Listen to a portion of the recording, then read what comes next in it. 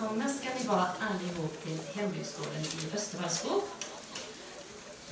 Välkomna till Östervall. En stor glädje att kunna få stå här och hälsa er alla välkomna. Några av er har åkt båt och jag kan tänka mig att ni har haft en storslagen färd uppför kanalen. Några har kommit till fots eller med bil eller med annat fordon. Alla är hjärtligt välkomna. Vi ska ha en gudstjänst tillsammans här där vi kommer att sjunga mycket tillsammans. Eh, jag, Helene Lorentzon, ordförande i Equmeniakyrkan Östervallskog, kommer leda er genom gudstjänsten. Marianne kommer att spela tillsammans eh, när vi sjunger. Och så kommer kyrkoherden Rune Varger att predika. Vart går gränsen för vår styrka? En liten flicka hade tillbringat hela förmiddagen på stranden. Den gula hinken, plastbaden och lastbilen med flak var redskapen hon hade för att bygga sitt allra finaste sandslott. Och stort hade det blivit. Nu var det dags för vallgravar, vägar och tunnlar. Flickan grävde och grävde med sin leksaksspade när hon plötsligt stötte på en stor sten. Stenen låg mitt i vägen för den mäktiga vallgraven som skulle skydda slottet.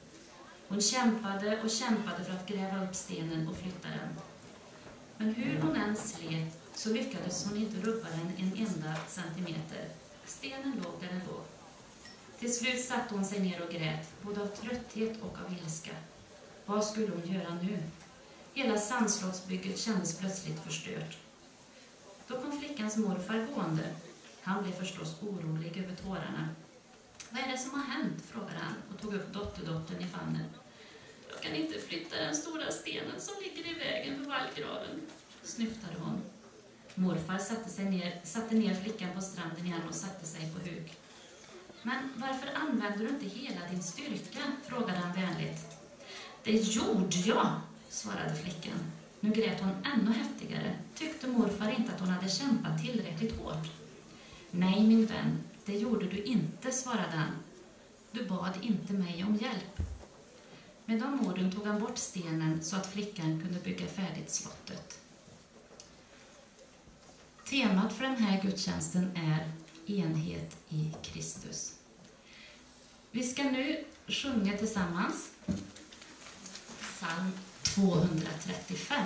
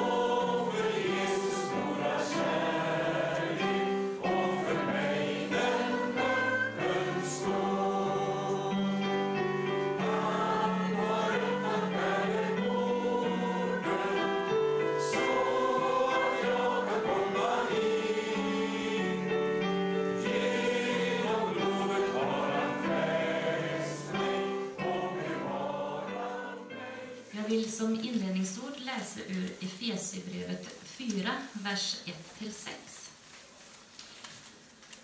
Jag uppmanar er alltså, jag som är fånge för Herrens skull, att leva värdigt er kallelse, alltid ödmjuka och milda.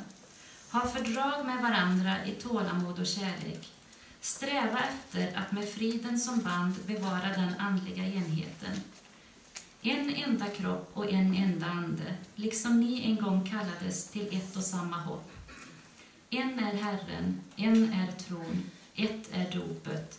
En är Gud och allas fader, han som står över allting och verkar genom allt och finns i allt. Vi ska be tillsammans.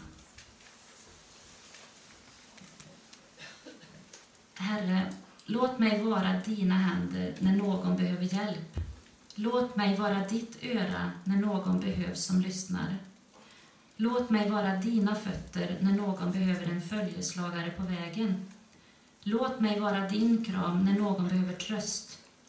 Låt mig vara ditt mod när alla blivit fega. Låt mig vara din dansande glädje när tristessen tagit över. Låt mig vara din kärlek där hatet råder och låt mig vara din förlåtelse där orätt har begåtts. Jag ber, käre Herre, om din välsignelse över den här gudstjänsten. Att du ska förmedla ditt ord genom oss och att vi alla kan ta del av det och vara en del av dig och din enhet. Amen. Då tar vi psalm nummer 11 och då sjunger vi de verserna som finns med i bladet 1, 2, 3 och 6.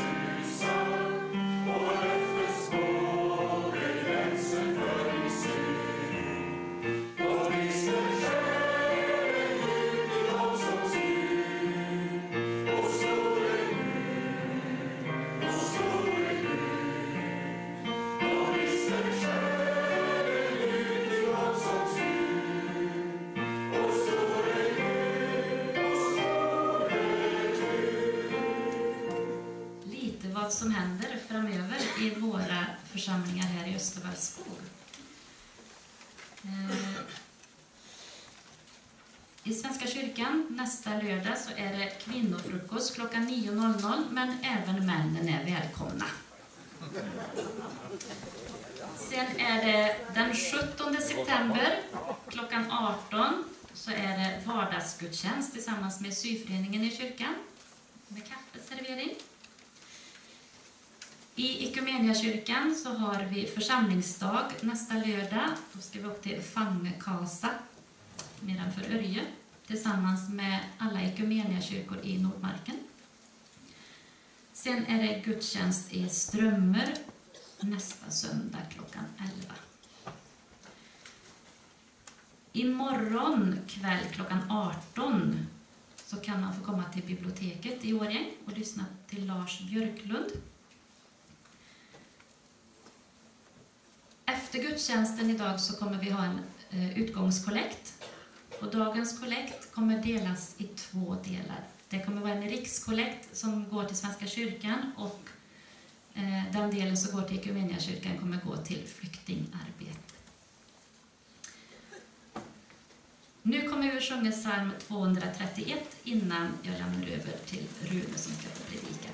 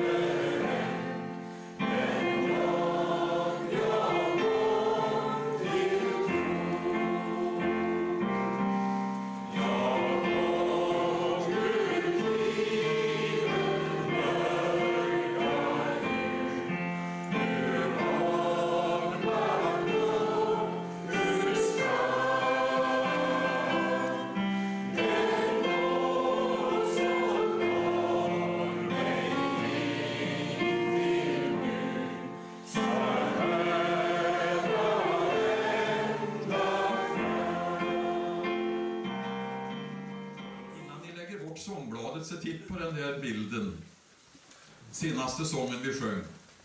Där plöjer ett fartyg, en båt, vågorna. Eh, och jag tänkte det var väldigt passande med den sången. Man kan fundera över den texten, att jag kommer ur vanmakt och ur skam. Det är mycket dystra perspektiv, men det är ju fantastiskt. Guds nåd lyfts fram. Men tänker man på att den båten passar till, för det var nämligen en slavskeppare som skrev sången en gång. Eh, jag minns för ögonblicket inte namnet på honom. Jo, det kvittar. Men eh, han finns i psalmboken på 231. Eh, och han upplevde, fast han hade kört så mycket slavar och tänkte vad har jag bidragit till med mitt liv? Att ordna så mycket lidande för människor. Han hade hållit på i många år. Men han fick lyssna till evangeliet och också han fick uppleva att Guds nåd räckte även för honom. Eh, det kan vara gott att tänka på ibland, tänker jag, när man hör den sången och sjunger den texten. Vi har fått eh, reda på att eh, det är den 14, jag vet inte om Helen sa 14 söndagen efter trefaldighet, men hon sa att det är temat enheten i Kristus. Och en söndag i början av hösten är alltid den här så kallade enhetens söndag där den kristna enhetstanken står i centrum. Och den söndagen är det i år, just idag, då den, den sjätte. Den kan ju flytta sig lite fram och tillbaks på grund av månen och ni vet det här med, med påsken. Det hänger ihop med det. Eh, symbolbilden är en ring, eller en cirkel om du så vill, som visar på gemenskap. Och man kan se att skarven på den där bilden är eh, två händer som är fattade i ett handslag. Och jag ska hålla upp en sån bild. Det var svårt att få till något lagom stort, men jag försökte i all hast att få till det. Eh, de som sitter närmast kan se det, de andra ser kanske längst ner att det bara är en ring. Men längst ner här så är det två händer. Och den här ringen kan du göra själv, kanske du tänker, eller jag tänkte det. Och då lägger jag bort lappen, då ska ni se. Hur jag än försöker. Det blir, det blir, det blir liksom inget bra att fatta sin egen andra hand. Utan det måste till en annans hand för att det där handslaget som är på bilden ska bli rätt. Då blir det en gemenskap. Så att det, den här cirkeln, det är egentligen armarna ifrån två personer. Det står för gemenskap, för samhörighet och för enhet. Du kan prova själv, men det går inte att få till det där goda handslaget med sin, mellan sin höger och vänster hand. men på bilden så är det så. Och det säger något viktigt om den här dagen och temat. Enhet, det bygger på att det finns flera parter som kan samverka och som kan komma överens. Samarbete, samverkan, gemenskap är ledord en sån här dag. Och nu vill jag läsa den text som är dagens evangelium. Och eh, det är från Johannes evangeliets 17 kapitel, verserna 9 till och med 11. Och här är vi på så olika håll och vi sitter, på, sitter bra. Jag tycker vi sitter ner fast vi hör evangeliet och det kanske de oftast gör också i, i eh, Ekumeniakyrkan. Och i kyrkan står vi rätt ofta upp när vi hör evangeliet, men du kan aldrig sitta idag. Jesus ber. Jag ber för dem. Jag ber inte för världen, utan för dem som du har gett mig, eftersom de är dina. Allt mitt är ditt, och allt ditt är mitt, och jag har förhärligats genom dem. Jag är inte längre kvar i världen, men de är kvar i världen, och jag kommer till dig. Helige Fader, bevara dem i ditt namn, det som du har gett mig, så att de blir ett, liksom vi är ett. Amen. Det är dagens evangelium. Och så vill jag fråga dig som har kommit hit till gudstjänsten idag. Vilka drömmar bär du på i ditt innersta? För några drömmar har du väl ändå, det tror jag mig veta. Någon slags önskan, någon vision för det som kommer, som kanske redan är en dröm för imorgon. Eller för hösten, eller för nästa år. Eller en dröm som du kanske inte har definierat riktigt när den ska gå i uppfyllelse. Men du säger ibland till dig själv, om jag bara. Eller tänk om det kunde bli så. Då skulle jag göra det och det. Drömmar och önskningar som eh, du kanske inte säger någonting om till andra, det tror jag också att du har. Kanske inte ens till din livspartner eller närmsta vän. För något som är ganska säkert, det är att du bär på någon eller några drömmar. Det är, jag, det är jag ganska övertygad om. En del drömmar, det handlar om vad man skulle göra om man bara fick bestämma över sin tid och inte vara insnärjd av alla måsten och krav och plikter. En del drömmer om, om vad man skulle göra om man bara hade tillräckligt med pengar. Ja, vinner jag på lotteri, då ska jag göra det, så har du säkert hört någon sagt. Kanske du har sagt det själv. Och så har man någon vision om vad man ska bruka det där till. Någon annan drömmer om att få uppleva att livet kunde bli lite mer inrutat och strukturerat. Kanske därför att man kunde få ett jobb. Man kanske är arbetslös. Livet skulle bli annorlunda om jag fick uppleva att jag var efterfrågad och behövd. För vi är ju alla sociala varelser, eller hur? Några hade en gång en vision om en kanal. Och de här herrarna har jag sett här på främste bänken. De har kommit till oss ifrån det förflutna.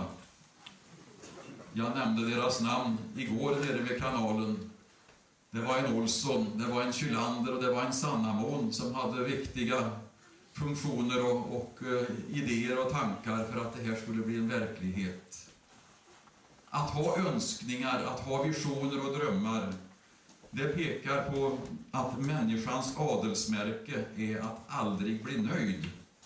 Ständigt är det väl någonting som kan bli bättre eller förbättras. Kanske är det också detta som har gjort att människan i det stora hela är en obotlig utvecklingsoptimist fast det inte alltid låter så. Hur många är optimister här? Eller skulle vilja vara det? Jag ska inte ta handuppräckning för det kan bli lite pinsamt. För då är väl resten pessimister då. Och ni kan väl höra inom er pessimistens utsaga, och vi, vi pratar om det ibland, jag vet inte om det är rätt att säga så, vi, vi har något vi kallar för gnällbältet, och där säger de, nej, det går aldrig. Det kommer inte att gå. Nej, det är omöjligt. Det är för besvärligt. Och det må de hindra pekar de på. Men möjlighetstänkarna, de tänker inte så. Visionärerna tänker, ja men det ska nog gå. Vi finner nog en lösning. Och hur hade det gått Runar om vi hade satt oss ner här före gudstjänsten idag?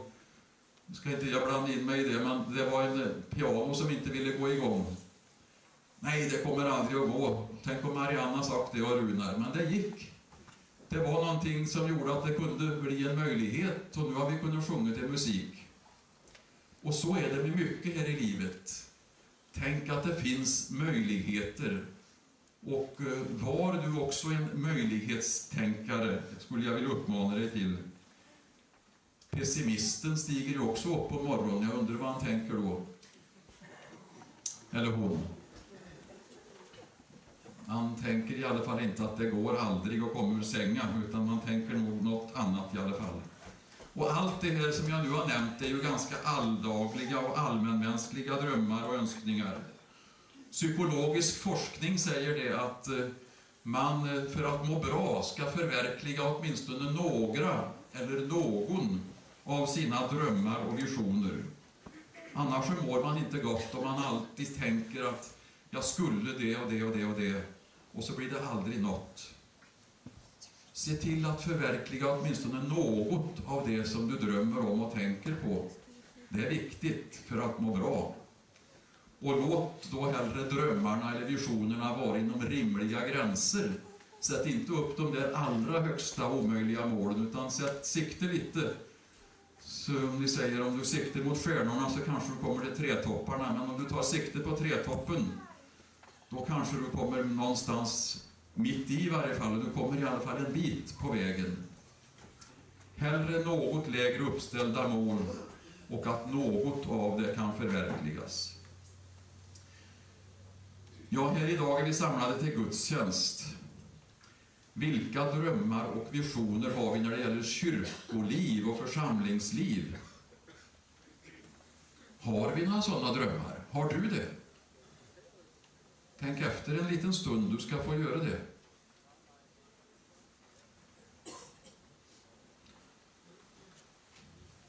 Och så ska du tro mig när jag säger att de andra drömmarna som du har för ditt liv och som du kanske tänkte på förut, de blir inte mindre viktiga för det. Det som av hjärtat känns viktigt för dig personligen, det är nämligen också viktigt för den Gud som har skapat dig, som älskar dig och som vill dig väl och som vill att du ska må bra. Så se det inte som en motsättning, dina drömmar och det som du tänker skulle vara Guds drömmar för församling och, och liv. Nej, när det där kommer i samverkan, då blir det en väldigt fin mix. Då blir den där cirkeln sluten. Då samverkar dina innersta önskningar med Guds goda vilja och önskningar. Både för dig själv, för din omgivning, för bygd och församling och kyrkoliv. Vi ska också en stund byta perspektiv eftersom vi är samlade till gudstjänst. Ett möte mellan Gud och människa. Vad är Guds vision och dröm när han ser på sin mänsklighet? Oj, vilken jättefråga. Här svindlar väl perspektiven och de stora teologiska grunddragen gör sig påminda. Gud som skaparen. Vi tänker också på Bibelns utsagor om människans synd och avsteg från Guds vilja. Vi tänker på Guds frälsningsplan och så vidare. Tiden tillåter inte här idag nu, och jag vet inte om den någonsin gör det i en predikan, för de får inte vara för långa nu för tiden, Eh, att utveckla de här perspektiven. Men dagens evangelium är väldigt tydligt när det gäller Guds vision. Hans vision är nämligen att vi ska bli ett. Detta syfte och tema genomsyrar hela evangeliet. Det finns också med i Gamla testamentet, men där är det gudsfolkets enhet som det talas om. För efter syndafallet, kommer det lite grann i alla fall, så eh, hade Gud en plan och då skulle han skapa ett folk som skulle bli ett, ett gudsfolk. Och det var ju det judiska folket som hade en speciell uppgift. För i det folket skulle frälsaren födas. Och det blev ju också på det sättet. Och sedan vidgades perspektivet till att omfatta all världen. Så älskade Gud världen. Och där får jag nöja mig med de där teologiska perspektiven. Jesus ber nämligen om detta i sin översteprästliga förbön i dagens evangelium. Aposteln Paulus utvecklar det också i sin teologi. Och vilka är då vi, nordmarkingar? Kanske finns det några norrmän här, eller tillresta ifrån annat håll än Nordmarken. Vilka är då vi, att inte vi skulle kunna anamma denna tanke och Guds egen dröm och göra också den till vår dröm? Drömmen om enhet, samhörighet, ett hjärta och en själ. Och verklig enhet, mina vänner som lyssnar idag, det handlar inte om att alla ska bli lika, varken till det yttre eller till det inre. Det går inte. Gud har skapat oss till de vi är. Vi är unika individer med unika genuppsättningar allihop. Vi har olika gåvor, vi har olika intressen och läggning. Men verklig enhet, den byggs istället genom försonad mångfald. Ett ord eller ett uttryck som någon har hittat och som jag tycker är, bra. Försonad mångfald. Där tillåts alla olikheterna att existera. Ingen behöver och ska se ner på den andra, utan det är en mångfald som är försonad och där vi kan känna att vi är ett. Det är en enhet bortom olikheter vad gäller kön, etnicitet, ålder, tankar, åsikter eller vad du vill. Och intressen kan vi ha olika, men ändå kan vi bejaka att vi hör ihop och att vi behöver varann för att kunna skapa en så komplett och hel bild som möjligt av detta att vara människa och mänsklighet, skapad till Guds avbild. Det som vi en gång skapades till.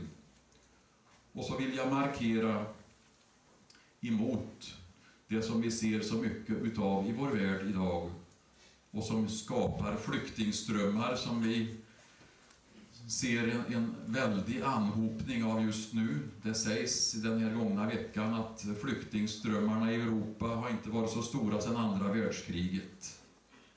Och då vill jag säga våld, hot, makt och rikedom har aldrig någonsin byggt några stabila och goda riken eller sammanslutningar i den här världen. Aldrig någonsin i historien har det byggt några starka, starka organisationer eller riken. Vad är det då som har byggt och som bygger? Jo, de viktiga byggstenarna är istället kärlek och ödmjukhet. Den kärlek som Jesus själv visar på i evangeliet och i sitt liv. Ja, han själv var kärleken. Han både förkunnade kärleken och han gestaltade kärleken. Och tillsammans så står vi som mänsklighet inför Gud. Att förverkliga enheten, det är att bejaka och ge sig hän åt den enhet som egentligen redan finns genom det som Jesus Kristus har gjort för oss. Han har nämligen offrat sig själv för världens enhet, för människans harmonisering. Om vi bara kunde ta till oss detta, tro på det och leva det, då skulle världen bli annorlunda. Då skulle vi inte se med missundsamhet på varandra, inte med avund, inte kriga om naturtillgångar eller oljetillgångar eller någonting sånt, eller att jag ska bestämma, jag ska sitta högst och vara den som säger ifrån. Nej, då la vi ner allt sånt och sa, hur ska vi få det bäst tillsammans? Hur länge ska människan hålla på? Det kan man undra. Och Guds vision är enhet för sin mänsklighet. Det är Guds dröm, Guds tanke. Tänk om vi kunde sluta oss an lite tättare till den visionen och försöka förverkliga det där vi står och finns på bästa sätt. Ett hjärta och en själ talas det om. En är Herren, en är tron, ett är dopet, en är Gud och allas fader. Amen.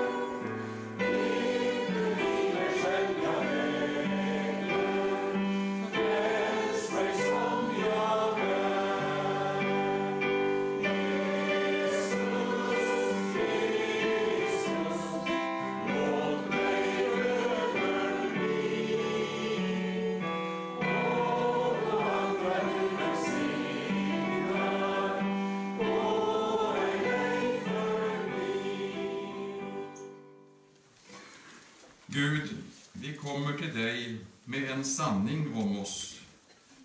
Vi har kommit till korta i många lägen. Vi har satt vår egen rättfärdighet först. Vi har sökt splittring där vi skulle ha sökt din enhet. Vi har inte lyssnat på varandra och tagit vara på varandras olika synpunkter och åsikter alltid. Vi har ibland målat in varandra i hörn och vi har inte haft viljan till försoning. Ingen av oss går fri. Hjälp oss, barmhärtige Gud. Tänd en ny vilja till enhet och försoning som inte enbart blir till ytterligare ord. Hjälp oss, Herre, att finna framtidens väg. Vår Fader, du som är i himlen. Låt ditt namn bli helgat, låt ditt rike komma. Låt din vilja ske på himlen, i himlen så som på jorden. Ge oss idag det bröd vi behöver och förlåt oss våra skulder, liksom vi har förlåtit dem som står i skuld till oss.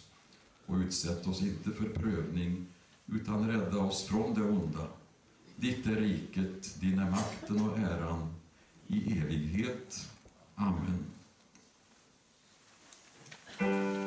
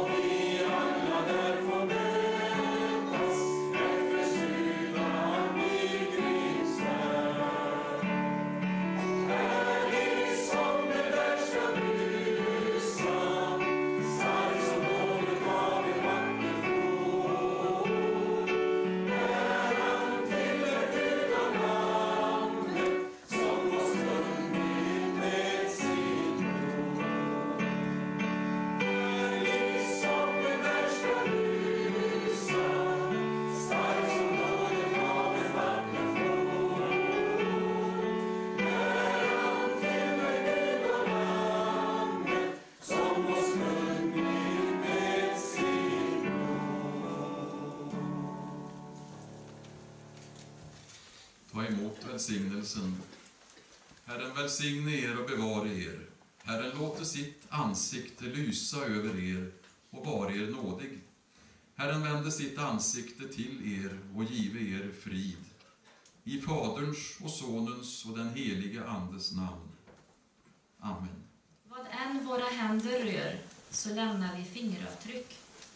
På väggar, möbler, dörrhandtag, böcker, papper, ja allt. Det är oundvikligt. Med vår beröring lämnar vi igenkänningstecken. Vart jag än går idag önskar jag att jag också ska få lämna hjärtavtryck. Avtryck av medkänsla, av förståelse och kärlek. Avtryck av vänlighet och uppriktig omtanke.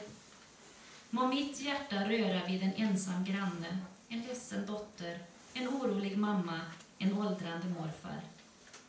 Sänd mig ut idag att lämna hjärtavtryck och om någon säger jag kände din beröring, må de också känna kärleken i mitt hjärta.